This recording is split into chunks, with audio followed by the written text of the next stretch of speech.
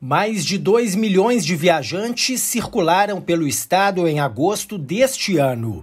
As informações constam no relatório divulgado pelo Observatório do Turismo de Minas Gerais. Esse e outros números positivos apontam uma retomada do setor. Somente na economia foram injetados mais de 3,7 bilhões de reais.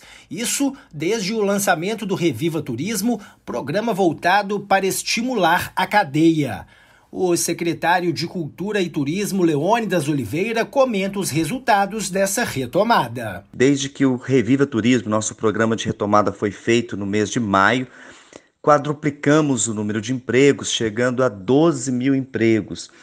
Dados dão conta também que 2 milhões de pessoas estão circulando por Minas Gerais, fazendo turismo. Isso significa, num ticket médio de 105 reais, 2 bilhões de reais injetados na economia. Então é um dado realmente surpreendente, junto com os dados do IBGE, que diz que Minas Gerais está crescendo o dobro da média nacional. Nós ficamos felizes, festejando a economia pujante dessa área, retomada, sobretudo, da nossa gastronomia, cozinha mineira, dos nossos destinos turísticos e despontando a natureza como um grande elemento agora de crescimento.